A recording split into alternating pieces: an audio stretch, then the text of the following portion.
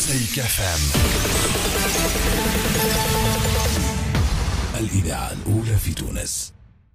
سلمى بكار باش نحكيو معها على الفيلم نتاعها الجديد النافورة قصة وإخراج سلمى بكار سيناريو سلمى بكار وآمنة الرميلي. سلمى بكار اللي كانت زاد نايبة في المجلس الوطني التأسيسي.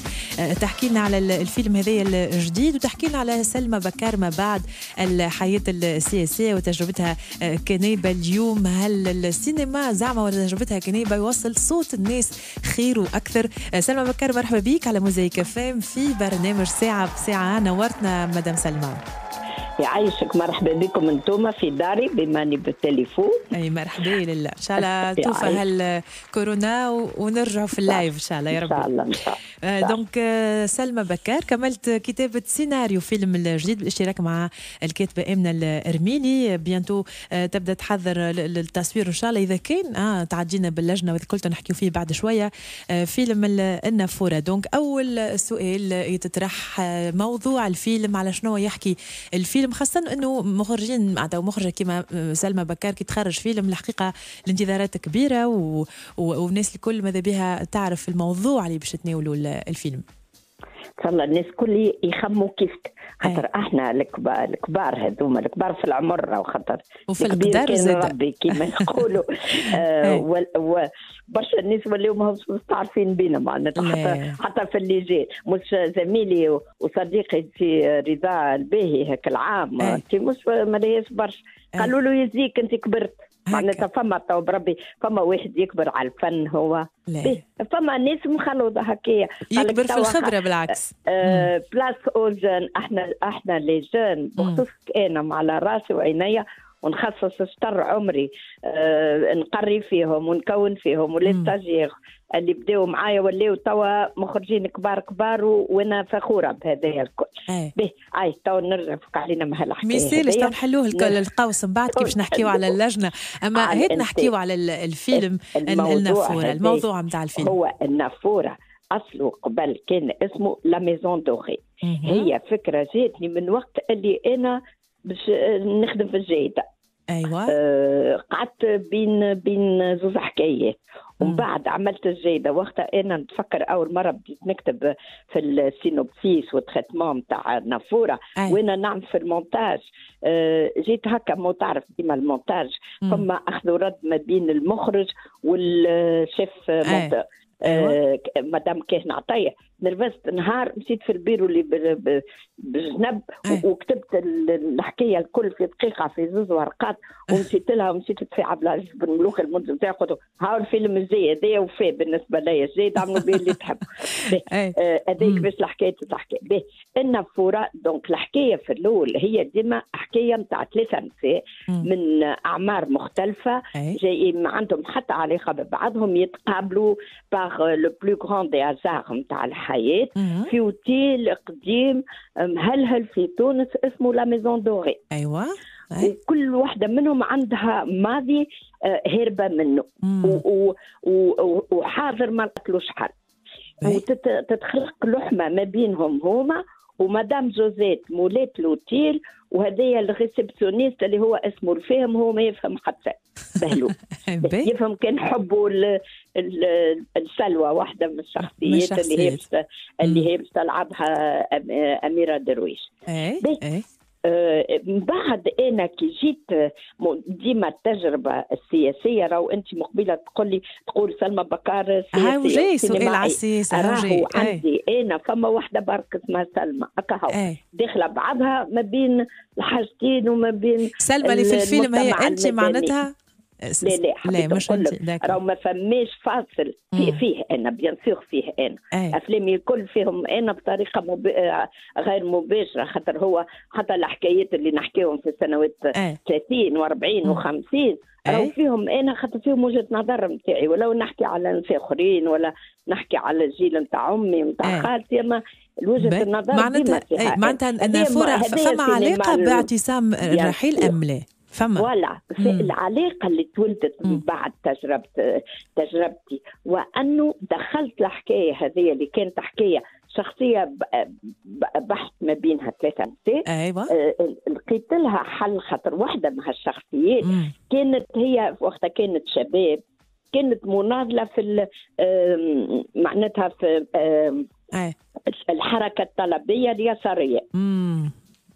آه، ولقاو رواحهم هي في باش ترجع مم. ترجع كي تسمع باغتيال محمد البراهمي مم. ترجع تمشي ل- ل- للباردو وتعاود تلقى أصدقائها نتاع سنوات 80 اللي كانت تقرأ معاهم مم. وت- وترجع النضال وبشوي بشوية تجلبك شخصيات الاثنين الآخرين آه، زاده ويولي فما مزج ما بين المشاكل الشخصية نتاع وال- والأحداث المؤلمة وفي آه. نفس الوقت passionnantes اللي عشناهم في اعتصام في الوقت رحيل. هذاك donc نفهموا أنه. النافورة هي نافورة باردو من الأخير العنوان نتاع الفيلم هي نافورة ها؟ باردو هكا اللي ديما هاني و- النافورة الناس الكل وقت الاعتصام الرحيل أنا أنا كنت عاد نبيت ونصبح أنا كنت من جملة 60 نائب اللي خرجنا من المجلس آه. قبل باش نرجعوا آه. كنت أنا وقتها رئيسة الكتلة الديمقراطية وكنت. متواجدة على اي مكان اليوم أنت حكيت إيه. على أميرة درويش سم الأسامي باش يكونوا حاضرين في الفيلم هل عندي بدا ولا السيناريو كي. كتبته هاك خممت في عباد معينين آه،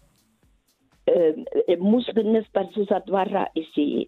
ريم الرياحي أيوة. الدور الرئيسي وأميرة درويش الدور الرئيسي الثاني والدور الرئيسي الثالث الحقيقة بنية حتى اسمها مانيش مستحضرته خاطر. عمرها ما مثلت وجه وجه جديد. وجه جديد عمره ما مثل voilà par contre ال tournage madame سلمى بكار آه، معناتها. ما نجموش نسألوك عليه على خاطر آه، معناتها الفيلم موجود لتوا مازال في لجنة التشجيع على الإنتاج السينمائي كل شيء حاضر حتى من l'équipe نتاعي كلها اخترتها. أيوه. حتى من المساعده نتاعي آم، مروة بن جميع. أي. حتى من ال dépouillement عملت وال plan travail نعرفوا كيفاش.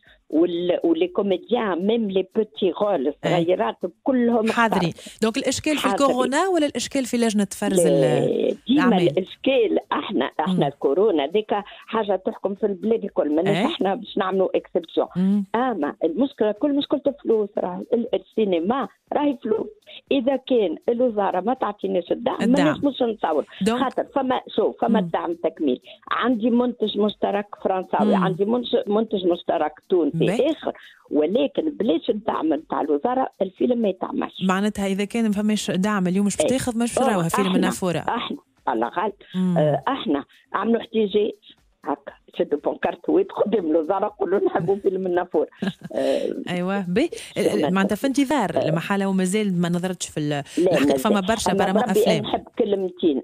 جوستومون أي. أنا بوندون قعدت 17 سنة. عدو في هاللجنه هذيا.